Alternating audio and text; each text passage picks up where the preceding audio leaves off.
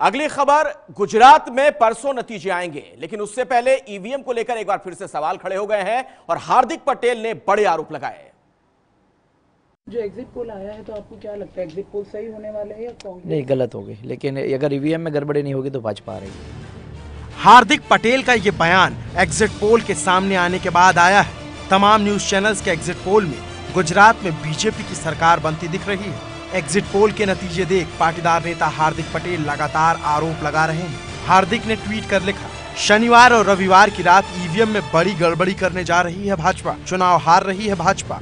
EVM में गड़बड़ी नहीं होगी तो बयासी सीट भाजपा को मिल रही है। हार्दिक न सिर्फ़ बीजेपी पर आरोप लगा रहे हैं, बल्कि सुप्रीम कोर्ट के फैसले पर भी सवाल उठा रहे हैं। बिल्कुल तो वीवीपीआई लगाया क्यों है? सुप्रीम कोर्ट का वो रवैया भी मुझे समझ नहीं आया।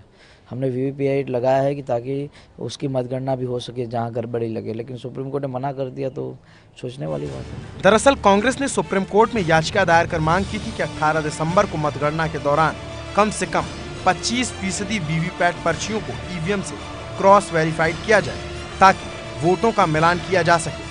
लेकिन सुप्रीम कोर्ट ने कांग्रेस की याचिका खारिज कर दी। अब इसे ही हार्दिक पटेल ने चुनावी मुद्दा बनाकर ट्वीट किया है। गुजरात में भाजपा की हार का मतलब है कि भाजपा का पतन। ईवीएम में गड़बड़ी करके भाजपा गुजरात चुनाव जीतेगी और हिमाचल प्रदेश का चुनाव हारेगी, ताकि कोई प्रश्न ना उठा पाए। ये है एबीपी न्यूज़ आपको रखे आगे।